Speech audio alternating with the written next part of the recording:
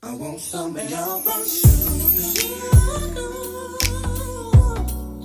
I want some of your sugar.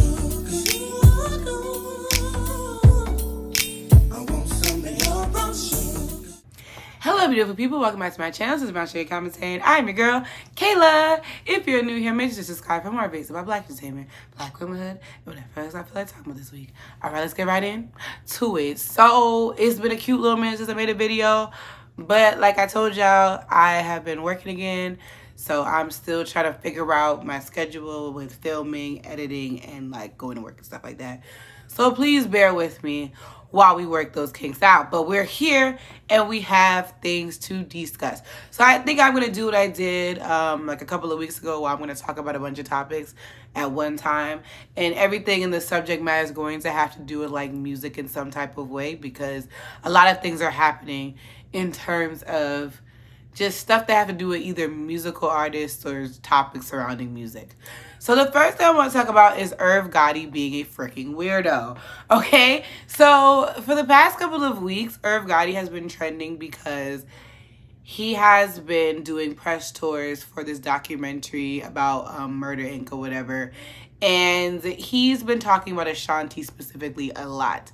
And the first time he talked about it, I was going to say something, but I was like, you know what?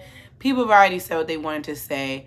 But now, obviously, just like a man, he got to keep talking. He got to keep talking. And it's just like, what the hell is wrong with this nigga? So Irv Gotti, in his documentary, is basically talking about like how he discovered Ashanti, what their relationship was like, whatever, whatever. And basically, while he's describing it, you the way that his tone of voice, how he's speaking, it's very much giving predator. It's giving like he preyed on this young girl and he's like boasting about it now. Like you're in this documentary talking about your record label and like the success of the record label and you still find time at your big ass age like you at your big age you were married when you were messing with the girl. You're still married now. Uh, if I'm under the impression he's still married or something like that. And you're still talking about this relationship like you're a teenage boy. Like it's weird. And it's like he's sitting there talking about him, like I said, preying on her and like gleefully telling the story about how he followed her to her house and was feeling up on her and all these things. And then turning around talking about how he wrote Foolish for his wife. Um, and, and I'm like, you have your your girlfriend sing a song that you wrote about your wife and you're proud of that and you're laughing like it's funny. Like I'm so freaking confused right now. And but like the whole thing with him and the fact that like I'm glad that a lot of people are not like laughing or like you know a lot of people gave him flack like I said when he went viral a couple of weeks ago for talking about how he was upset that she dated Nelly or something like that. And it's just like, at the end of the day, you were like older than her. And you guys, your relationship has an unbalanced power dynamic. You are her boss. You are older than her. Like, you have power um, that she did not have. And my thing is, you preyed on her because you do that. And so many young girls, you know, think that they have to either date, sleep with, what have you, these record labels because these or these producers because they think that like, oh, these um if I don't do that then I'm not going to get that my deal or whatever the case may be. And I'm not that's what Ashanti did, but it definitely gives that to me. It gives that like I said, she was a young girl just trying to get signed and here's this man and he's being flirtatious and trying to whatever and she's not gonna you know a lot of girls are just not gonna say no because they don't think they can say no. And sometimes when girls do say no in those scenarios they get blackballed and be called difficult and they never you know they never get to become a star. But it's really unfortunate that Ashanti has to go through this right now that this man over 20 some years later is trying to rehash things and trying to make himself a victim when he's in fact a big fat loser and like I want it to go away. I want this. I don't even know why this documentary is happening at this point. Like I really sat there by the cam camera crew out and listened, man, recounting his like because all the clips I'm seeing is him just talking about cheating all the goddamn time. Like, and the wife there too, boo-hooing too. Like, I'm like, what is this? What is happening? Like this joke is ghetto. I'm tired of it. I'm tired of it. Speaking of things that I'm tired of, this I don't know this girl's name. Is it Chrisean? Chrisean and Blueface situation. I'm tired of it. I'm tired of seeing it because I definitely think something bad is happening. I don't know what, but eventually something's gonna come out really bad, and everybody's gonna be like, "We failed, Chrisean." Like, no, you guys are making fun of that girl and calling her all types of names instead of seeing that a lot of what she doing, she's doing, seems like a cry for help. Like, I never understood that relationship at all. Like, I was just confused. I just knew that there was a girl with a missing tooth getting her all types of tattoos of Blueface and Blueface ain't had a, a hit since Thotiana. Like, what is happening right now? I don't know, but something about Blueface spirit nasty to me.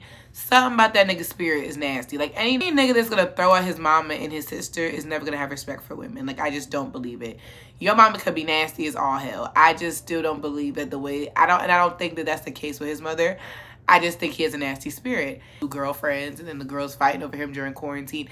Blueface spirit nasty. Like, I just feel like some bad stuff gonna come out about that man in the years to come. And I'm gonna be like, I can't. I told y'all niggas. I told y'all niggas like he's not good and he can't even rap. So like, what are we doing? Why are we talking about Blueface in the year of our Lord and Savior 2022? Like, I just don't get it. But I'm really concerned for that girl. I just don't know why. Because I just think she, she seemed to have so much going for her. She was very athletic. I think she was doing track. Like, she won some, like, um, competition, like a Modern Warrior or whatever. What is that thing called? Like, you know, is it called Modern Ninja Warrior? You know, the, the obstacle course type thing? Like, some type of game like that. Like, and she did a good, she won the prize for that. So she just seemed like she has so many, but I think she has a lot of trauma going on. So I could see that that's maybe why she would gravitate towards this type of toxic relationship with Blueface. But like, I don't know, Basties. I don't know. It's not looking good. It's not looking good. Um, but that's that on that. I want you to stop covering it because at this point, if you're not going, it's like it's clear that she and him are not going to break up. So if you're not going to offer any type of valid critiques and anything coming from a true place of concern, like just drop it. Like it's just not giving what it's supposed to give. Moving right along. The next thing I want to talk about is Kevin Gates. Kevin Gates is another one that needs to lock up immediately. He need to go. I don't believe in prison, but he need to go somewhere. He need to be put up somewhere. Somewhere. Because he's just weird. He another one who's spirit nasty to me. Something about Kevin Gates' spirit, my spirit attack too well. You know what I'm saying? Like, Kevin Gates in the beginning, he was like amusing, and I'm like, you know, he seemed like a family man with him and Dreka, and he just seemed like he he a little kinky, but like it, it was nothing too crazy that we've never seen before. But I don't know what it is, but in the past couple of the past year, it's just been getting uncomfortably weird. Like it's just like okay, you like to have sex, sure, fine. Like he was one of the first niggas talking about he was eating the booty like groceries, right? Like that was his thing. But like I said, it, it was it was quirky back then. Now it's just weird because it seems like every interview you have, you're never viral for music. You're always viral for the crazy sexual things that you've done, right? It's like you got viral for admitting to the world that you slept with your cousin despite knowing that that was your cousin. Like, what? And now you're on every podcast, radio, whatever interview talking about the nasty things that you do in bed and that you don't get tired. Even when he was on um Caresha Please, which I know that most of the content of that show is like about relationships and sex and stuff. But it's just like even though he's talking about sex and talking about, oh, if you sleep with another man, I want you to videotape it and give it to me so we could watch it together. And it's like you can even see Yung Miami's face and she looked like uncomfortable because like I said, he always just gotta take it to the next freaking level to the point where now you don't even feel good about talking about it anymore. Like his something about it is nasty. Now there's this clip going around about this song he got called, I guess, Dick You Down, I guess is the name of the song. And he he's like, the way that he's like chanting the song and like acting out that he's sleep like he's like like he's sleeping with or having sex with this imaginary person on stage and it's aggressive he's slapping it he's just thrusting like i'm just like ew like oh my lord whoever's ever had sex with Kevin Gates, you are entitled to emotional and financial compensation. Like, what the hell is this man about? Then he had these tight pants on, butt hanging out. Like, I'm just like, I'm uncomfortable. I'm a like the fact that Orlando Brown is saying you're doing too much. That's how you know you're doing too much. And Orlando Brown is someone I want to have a conversation about so bad because I feel like he another one. Y'all need to stop having interviews with him. Like that's a quick sidebar. Stop having interviews with Orlando Brown because at this point Y'all not doing this because y'all genuinely care what Orlando Brown got going on. You're doing it for clicks, views, and engagement and for spectacle. Like, if this man has a serious drug problem or a mental problem, you need to point him in the direction of getting him help and stop exploiting whatever he has going on. That's that on that. Like, I'm sick of it.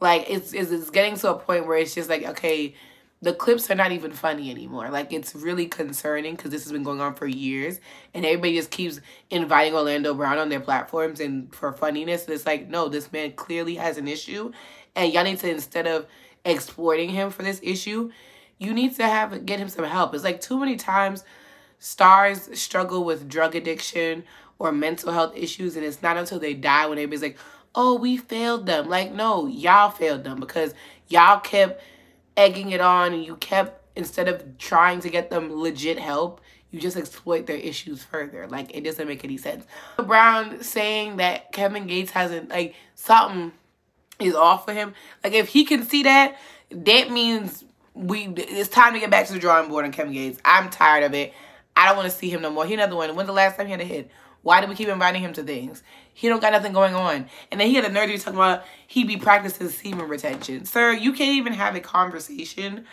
especially with women, for 15 minutes without bringing about your sexual prowess. Like, and then we all knew last year when that little sex tape came out, it wasn't even hitting for real. So why are you talking? You're a liar. That nigga be lying just for the sake of lying. Because there was a TikTok trend about him talking about he fixes lady car just by touching the car or something. I'm like, nigga, why are you lying? Now, why are you lying? You're just lying for the sake of lying now, sir. Like, please leave. Get get the hell up out of here with that. Like I said, Kevin Gates, another one, my spirit tech too well. Like, I'm done. Done. I don't want to see it no more. I don't want to see it anymore. Next topic I want to talk about is Mr.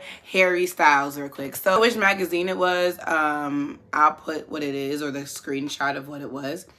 But basically this magazine had Harry, Harry Styles on the cover and called him like new king of pop or king of pop or something like that. And of course, people are raising eyebrows because when we think king of pop, we look no further than to look at Mr. Michael Joseph Jackson, okay?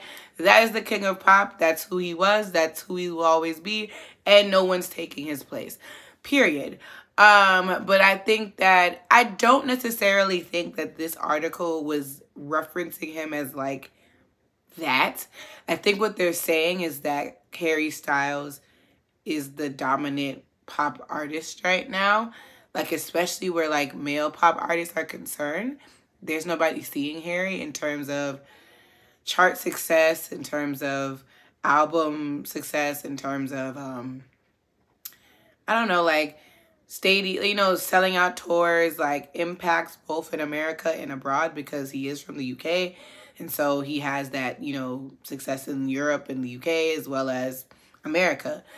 So if we're talking about that, that Harry Styles is probably the most popular pop artist right now, especially male pop artists. Because I'm like, female, I don't know.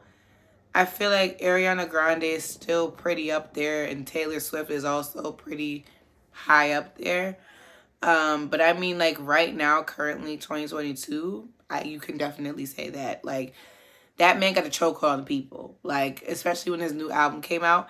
So, and that's the thing. But I'm like, if we're saying that, then let's say that. But like, you can't say king of pop. Like, that's not a phrase you should use because people are going to automatically think Michael Jackson because that was his identifier for years. It's the same thing when you think when you think um The Voice, you think Whitney Houston, you know what I'm saying? When you think Godfather of Soul, you think James Brown, you know? So it's like you can't just say names like descriptors like that and don't think people are going to like be upset or annoyed about it because I think honestly in the past couple of months and even yeah, the past couple of months and years, I think a lot of people love to downplay and try to discredit Michael Jackson's legacy. And it's like, obviously, Michael Jackson in his personal life has some complications there, and there are people who, you know, people are entitled to believe what they want to believe, you want to believe, you know, whatever about Michael Jackson's personal situation, you're entitled to believe so. And if you believe that, you know, the personal stuff is enough for you to want to divest from him as an artist and not listen to his music, you're you're inclined to do so. But at the same time, you cannot deny the talent that was Michael Jackson. Like you just cannot. And the thing is, what people fail to realize is people love to compare Michael to a lot of modern day folks or people that have admitted and said that they are heavily inspired by him and then go as far as to say those folks are more talented and or better artists than he is. And my thing is, if a certain if Michael Jackson had to exist for this artist to exist, that person cannot be better than Michael Jackson. Because if Michael Jackson didn't exist, they would not have a career. Do you understand what I'm saying? Like, you can never, there could never be another Michael Jackson because the trajectory of Michael Jackson's career and what he did for pop music, what he did for the culture in general, can never be replicated. You know what I'm saying? There's never going to be another, you know, young, you know, there's never going to be a young artist who was in a group with his brothers that was so successful. Like the Jackson's Fives was a very successful group.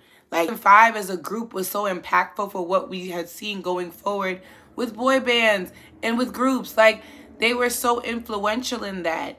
And so even just the Jackson 5 alone it's very hard to replicate. And even the way Michael Jackson was singing the frick down at 10, this man was out singing niggas in their 30s, 40s, 50s. This man was singing with pain. Come on now.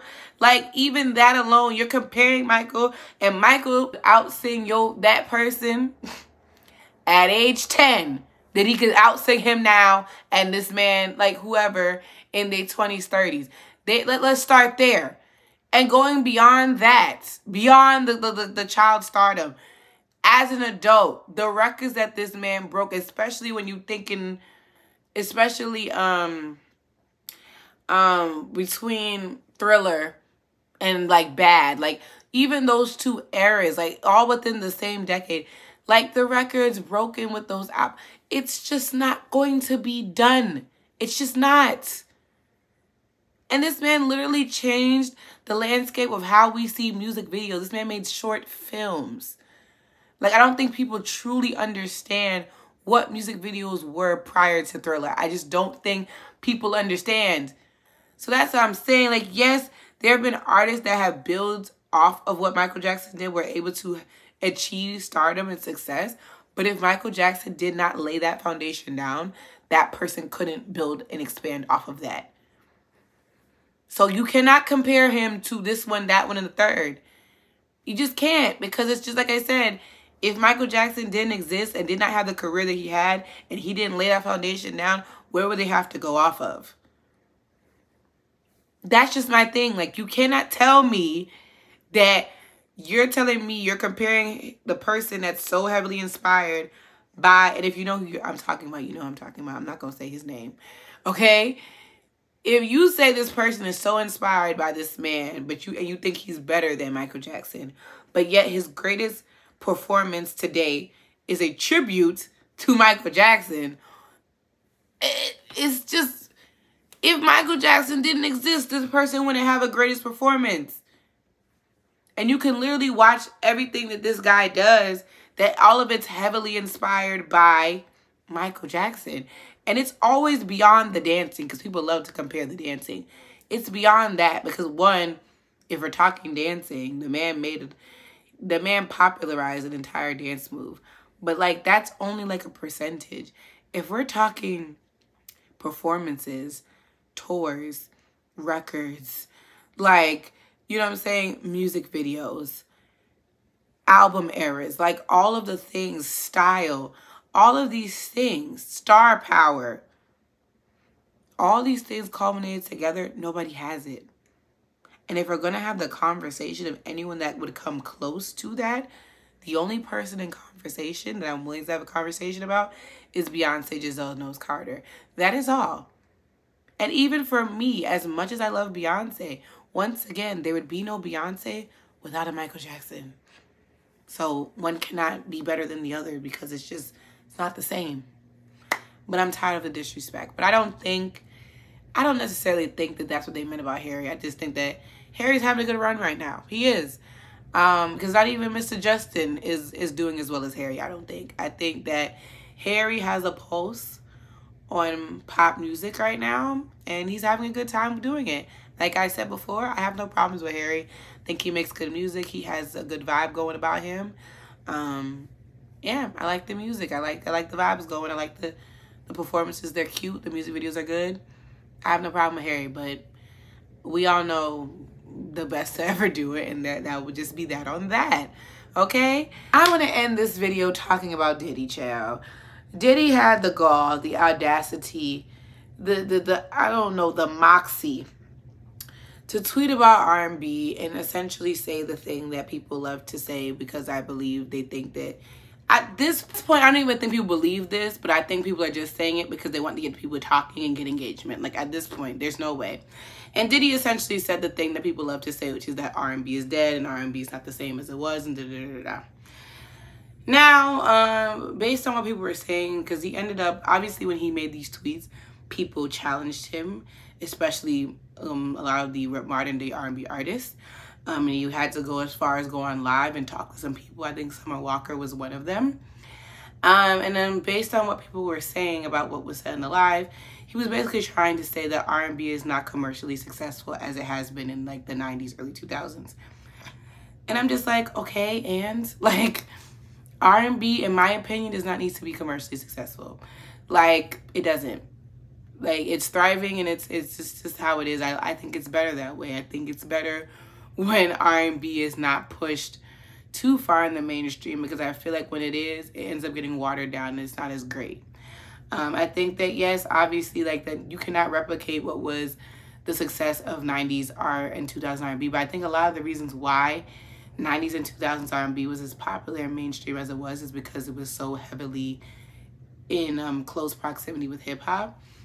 You know what I'm saying? Like when you think about all of the remixes being done where either a remix was done where an R&B artist was coming onto a hip hop song and singing the hook or a other way around or it's a pop song or R&B song and a rapper is coming to do a verse. So like that's probably why because hip hop is a pretty mainstream genre especially for the 2000s and onward like hip hop next to pop music is probably the second most popular genre right now because a lot of white male children listen to hip hop. So it's like, yeah, that's why. Um, but um, you know, and now, like I said, rap is having a moment, and R&B is not, and it has not had a moment. But I'm like, R&B has always been thriving. There's never been a time where R&B has not thrived. Like I said, thriving in the mainstream, no. But it's always even the time that period between like late 2000s, early 2010s, when like it felt like R&B wasn't doing as well as it was, there was still amazing music being made. Like I said before, y'all was just not paying attention. Like I said, I'm like, this is the time where Jazmine Sullivan came out, and during this period, Jazmine Sullivan made three amazing albums. This is where Miguel came from. Miguel had Kaleidoscope Dream and um his debut album. I think it was just called Miguel. Good album, good times, okay? Um, you have, like I said, Sevyn Streeter, Chrisette Michele. Um, Jeremiah was the hook king at the time. Um, what else? You have... I'm trying to think a bunch of things. I'm like, Frank Ocean introduced like alternative R&B. Same thing with Janelle Monet. Monáe. ArchAndroid, one of the best alternative R&B albums ever. Um, and um, Electric Lady, amazing. Solange put out, before even a seat at the table, she had two good albums that she put out back then. Like, it's so many names that I could name you of good R&B that came out between the years of 2008 to like 2014. Um, like, it's not like R&B went anywhere. It just wasn't paid attention to. And now, like I said, the landscape of music itself is different. Like, You know, like you can literally make a song, put it on like TikTok, it becomes a popular sound, and then you're completely blow up overnight. We've seen this happen a billion times um, over the course of especially like the past two, three years. Um, but even like when you think back to Musical.ly, the whole reason why Bryson Tiller's don't blew up was because of Musical.ly. So that's what I'm saying. Like we're in a culture where like a person can blow up overnight that we never even knew about. So the way that we even engage with music is different. So that's the whole thing. Like things are just not gonna be what it was in the 90s and the 2000s because it's just not there. And furthermore, it's like Diddy, you have the power to change that. You are, don't you still have like a record label situation going on? I'm like, even when um Dirty Money, what happened to that? That it just disappeared. What happened to Day 26? Like, what happened to that? Like, what happened to Danity Kane? Like, I don't want to hear that. I don't want to hear from you, Diddy, because you got other things to be worried about than the, the state of R&B right now. But it's like you have the power to sign or discover a new artist. Like a Diddy co-sign would do a lot for a new artist. So why don't you help them out instead of sitting there complaining on Twitter like the rest of us? Like what? But I'm tired of the R&B is dead argument. Not when all this good music coming around. I'm telling you, I'm gonna do my my like annual. I'm about to do a mid-year um, album um, phase because there's so much good music going. This past month, I done went to like four concerts and they've been eating. Okay, I'm going to go see Giveon on the 30th and I know I'm going to have me a good old time. That's what I'm saying. Like music is, R&B music is too good for y'all to be making that argument. Like it's tired, it's old, retire it. I'm done. I mean, I can name you 10 good artists off the top of my head right now, okay? And like I said, I've seen plenty of these artists live. They sound amazing. The vibes are immaculate. The music gives. They sound like they're in the studio. Like, and it's all different types of flavors. And like I said, in this month alone, you know, I saw Kehlani the Weeknd and Blxst. And like I said, when he give y'all. Now, the Weeknd is not R&B anymore. He's more so pop. But I mean, you know, even we between like Blxst and Kehlani, like those are two very different vibes, even though they're both like West Coast natives.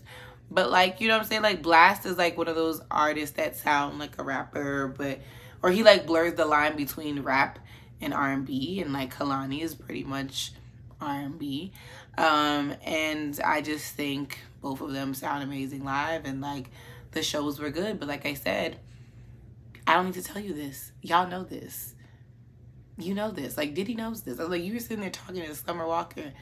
Like Summer Walker is one of the biggest R&B artists out right now. Like, what more do you want? I don't understand. Diddy, like I said, Diddy need to worry about fixing them folks' contracts and try not to get sued or something. I don't think he'll get sued at this point, but he need to worry about getting right with them people, okay? Like, because he screwed over a lot of folks. Like, if you have not watched Black Feminities TV, Black Feminities TV's um video about like the breakdown of Bad Boy and like all the people he kind of screwed over over the course of like the um, past several decades, I urge you to watch that video because child, it's a ride. Okay, but like, yeah, Diddy, you have bigger fish to fry. If you don't want, if you don't like what you're seeing in R&B, why don't you change it? But then again, I'm like, I don't want y'all to screw none of my people over. So maybe not. Maybe not. Um, but yeah, that's all the topics I have for today, y'all. Y'all let me know what y'all think about all the things we talked about today. Thank you guys so much for watching. And I'll definitely see y'all in my next video. Peace out, y'all.